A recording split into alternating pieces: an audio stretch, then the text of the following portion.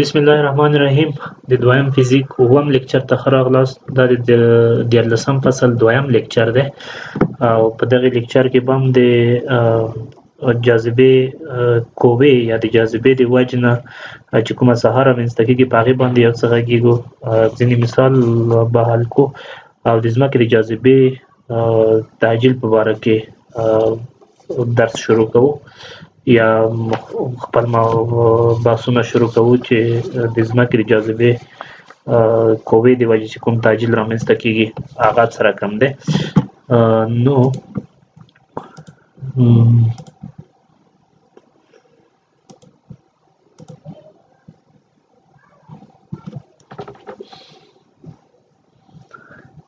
ښه کچیرته د ام د ام یو کتله موجوده وي د ام کتلې د دغه دی وجنه د دغې د وجې نه د جاذبې ساحه د جاذبې ساحه څه رقم رامنځته کیږي مثلا که دلته چیرته د ام غټه کتله موجوده وي د ام او دلته یو وړکه هغه کومه نمونه چې مونږ خایو یو وړکه کتله موجوده وي د دو د دغه لوی کتلې پر شاوخوا چې کومه ساحه ده د جاذبې ساحه چې ده چې دغه کتله ځان ته کش کوي هغه به څومره وي د دوی ترمنځ که دغه فاصله دغه فاصله زه ار وخایم دغه فاصله مونږ د جاذبې د انټنسټي یا د ساحې د شدت لپاره فارمول یې لای و چې ای مساوي کیږي اف پر ام او د دغه اف د پاره چې د دوی ترمنځ د جذب کواله مونږ په اول لیکچر کې فارمولې له و چې د دوی د قتلو ترمنځ په پروډکټ پسې او د دوی ترمنځ فاصله په مربع پسې غیر د دې سره اړیکه لري دغه فارمولم په اول کې دی او موږ کچرته د دې په ځای هم دغه وځکو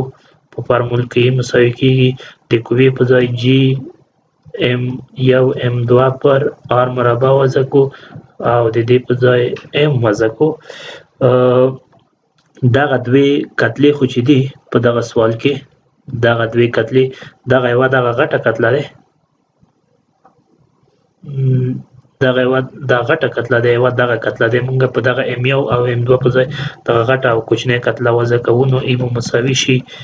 جی ضرب ام ضرب کوچنی ام پر آر مربع پر ام کوچنی ام به د کوچنی ام سره خلاص شي او دغه به مونږ ته راکړي چې جی ضرب ام تقسیم آر مربع یعنی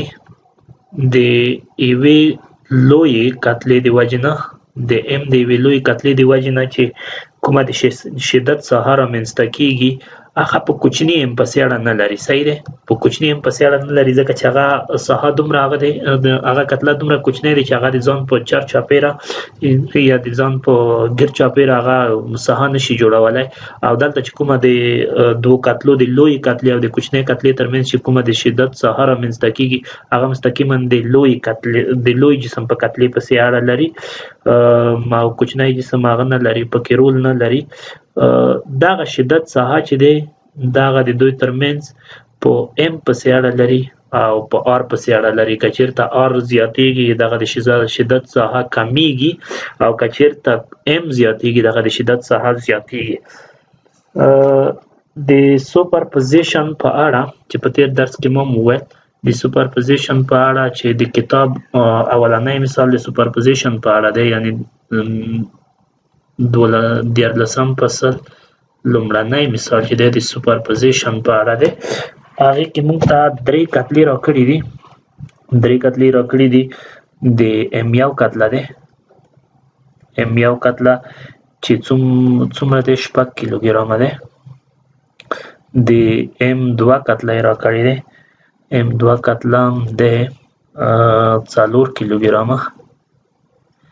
او د ایم درې کتله هم را کړې دی څلور کیلوګرامه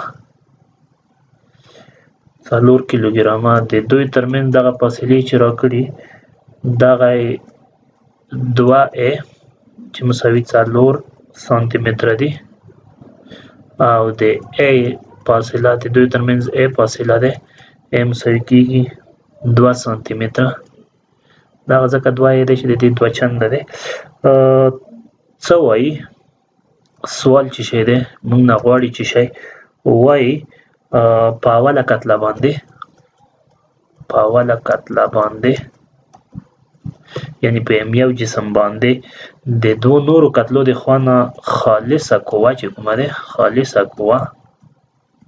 خالصه قوه پیدا کړئ صحیح ده نو راځو هلته یې تاسو فکر وکړئ د په ام یو جسم باندې په ام یو جسم باندې د ام درې د جسم د خوانه چې کومه قوه واردېږي د هغې جهت به د ام درې د طرف ته وي یعنی اف یو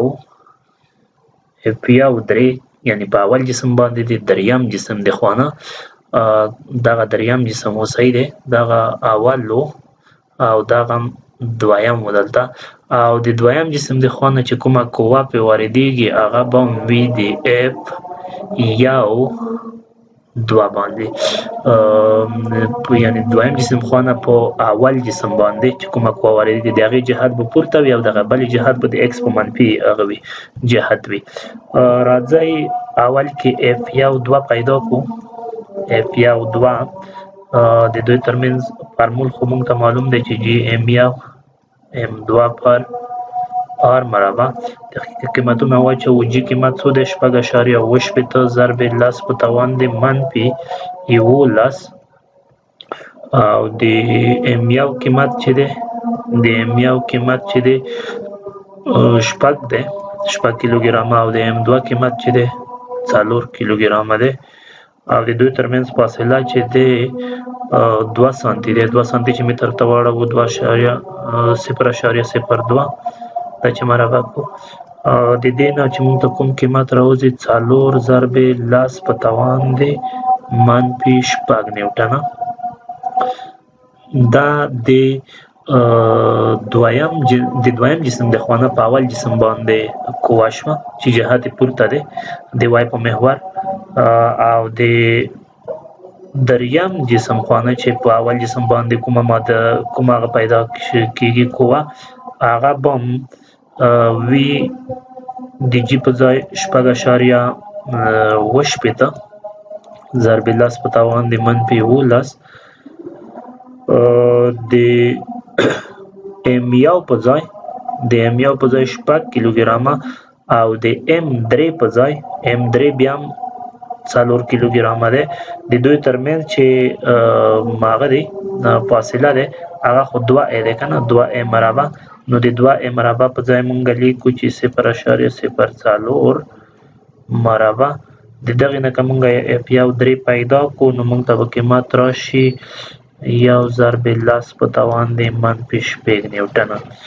اوس دغې ته فکر وکړئ د اف دوه قوه خو چې دی د اف دوه قوه دا خو د وای په محور دی دیوای په محور پورته خواته دی د علامه مثبت دی او د اف یو درې قوه چې دی د ایکس په محور من په منفي جهت دی نو علامه منفي دی او موږ د دغو د خالص قوې د پیدا کولو لپاره هغه وکتوري جامې لپاره چې قائم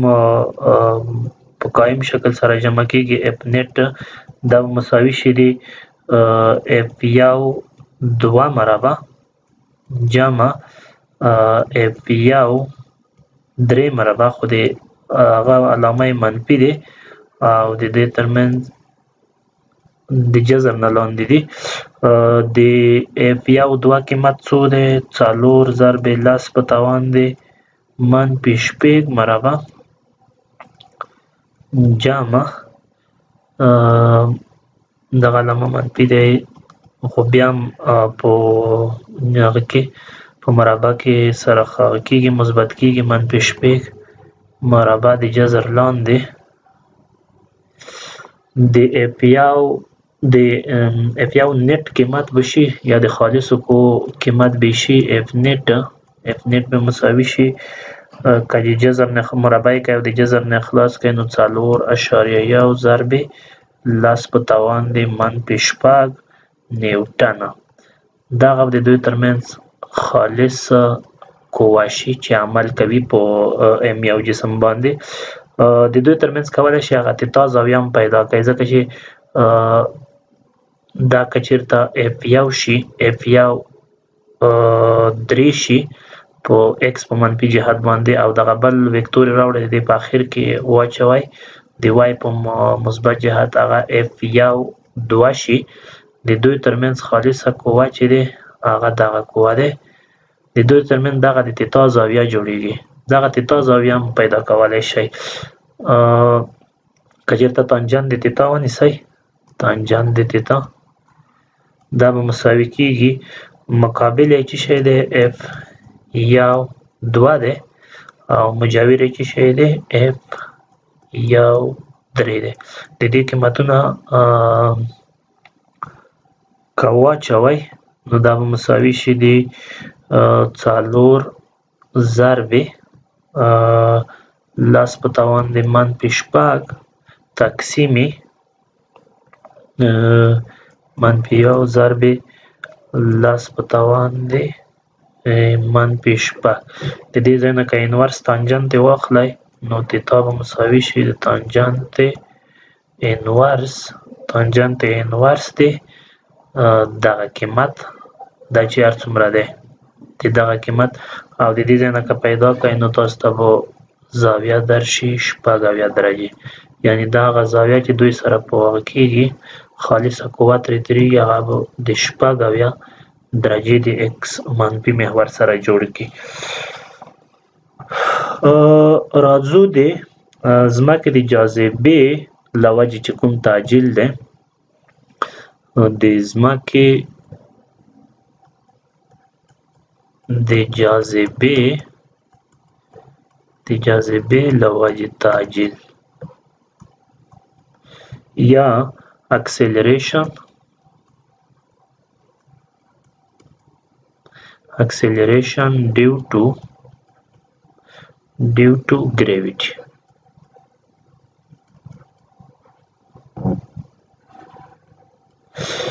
تاسو پام وکړئ که چېرته دغه د ځمکې کوره شي دغه او د ځمکې هغه کتله مونږ وایو چې په سنټر کې راټولیږي یا په مرکز کې راټولیږي دغه د ځمکې کتله شي او دغه د ځمکې شعا شي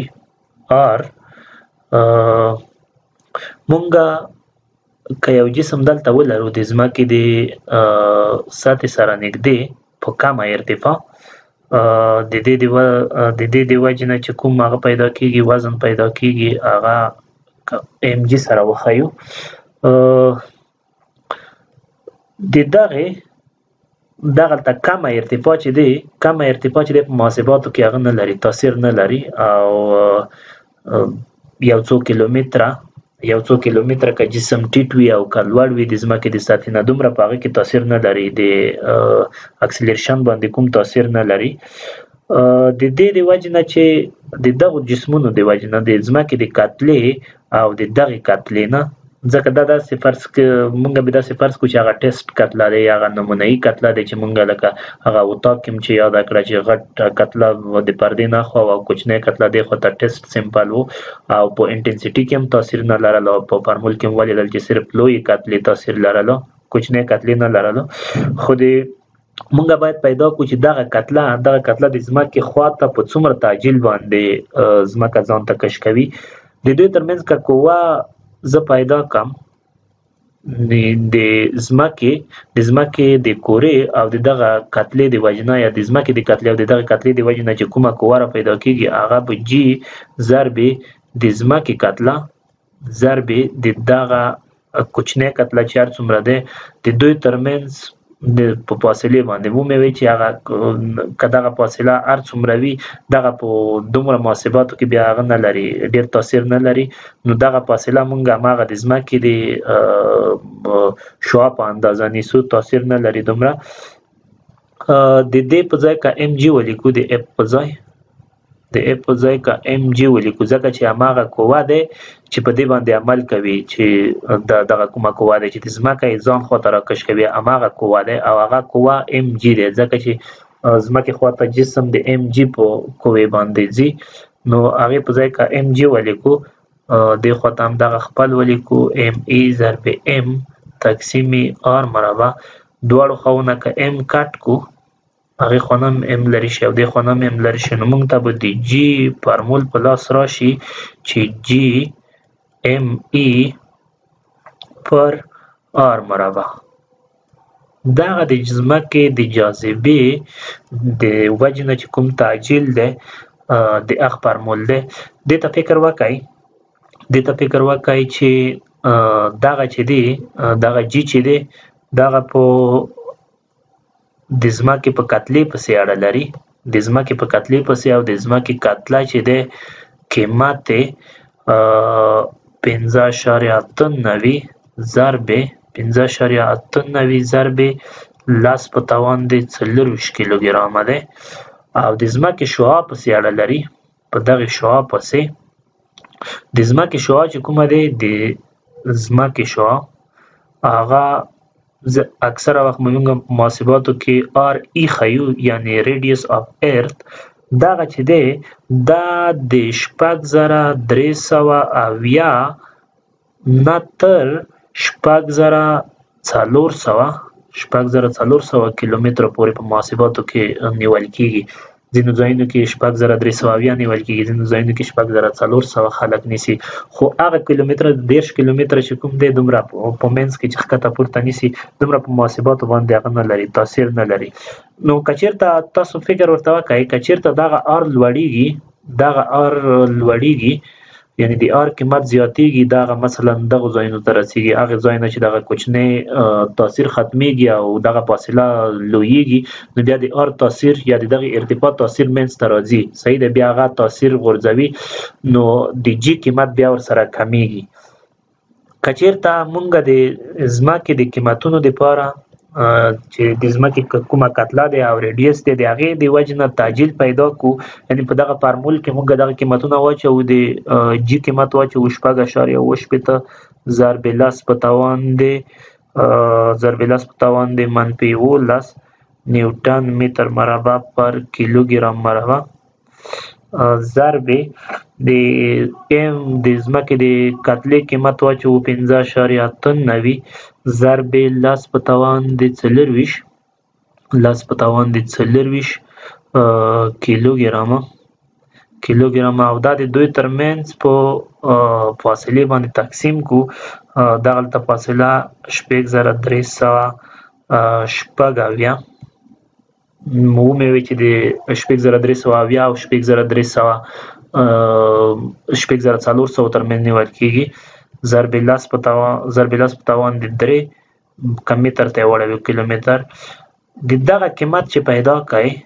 دغه قیمت د راځي 9.8 متر پر سیکنډ مربع نو موږ چې د ځمکې کوم د ځمکې د جاذبې د اثر چې کوم تعجیل لرو هغه د دغه قیمتونو سره اړیکه لري او د دغه فارموله پیدا شوی دی صحیح ده نو موږ دغه تعجیل په هر ځای کې پیدا کولای شو په کومې فاصله کې چې زړه وغواړو هغه فاصله چې موږ په څومره ارتفاع کې کولای شو پیدا یې کو نو موږ پیدا کولای شو تاسو که د همدغې فارمول نه که د همدغې فارمول نه په ځینو فاصلو کې هغه پیدا کړئ تعجیل پیدا کړئ د جي قیمت د جي قیمت د ځینو فاصلو لپاره پیدا کړئ دلته زه ارتفاع وښیم ارتفاع په کیلومتر وښیم په کیلومتر او دغه ځینو کې د جی قیمت وخایم په متر پر سیکنډ مربع متر پر سیکنډ مربع کچیرته په صفر ارتفاع کې یعنی د ځمکې په سطح باندې پیدا کم صفر ارتفاع کې دغه قیمت 9.3 متر پر سیکنډ مربع راوځي په 8.8 کیلومتر پورته کلاړ شم دغه قیمت 9.8 متر پر سیکنډ مربع راوځي که چېرته شپږ دېرش اشاریه شپږ کیلومتره پورته لاړ شم دغه قیمت نه اشاریه یو اویا ته راغورځي که چېرته څلور سوه کیلومتره پورته لاړ شم دا څلور سوه دی نو دغه قیمت اته اشاریه اووه ته راټیټېږي او که چېرته پنځه دېرش زره اووه سوه کیلومتره پورته لاړ شم دغه قیمت تقریبا صفر ته نږدې کېږي صفر اشاریه دوه ویشت 15 متر پر سکند مربع او دا غمل په تیر صفحه کې کوم فارموله هم راوېستو د جی مساوي کیږي جی ایم ای پر آر مربع نه دغه قیمتونه راغلي دي ان تاسو په دغه فارمول کې کولای شئ چې په هر ارتفاع زړه وغواړي په هغه ارتفاع باندې تاسو کولای شئ چې هغه پیدا کړئ د جی قیمتونه پیدا کړئ د جی قیمتونه د ځمکې د جاذبې په تعجیل کې چې کوم تفاوت دی یعنی په جی کې په جی کې تغییر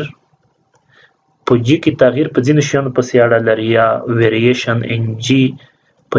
انګلیسي کې کتابونو کې لیکي ویریشن ان جی دغه دغه په درې حالاتو کې جی تغییر کوي په درې حالاتو کې درې حالتونه لري چې تغییر کوي جی اول دا ده کچیرته د ځمکې د سر نه د ځمکې د سر سر نه ښکته مونږ ځو جی تغییر کوي یا پورته ځو یا پورته ځو جی تغییر کوي فکر وکړئ هغلته اور شامل دی کنه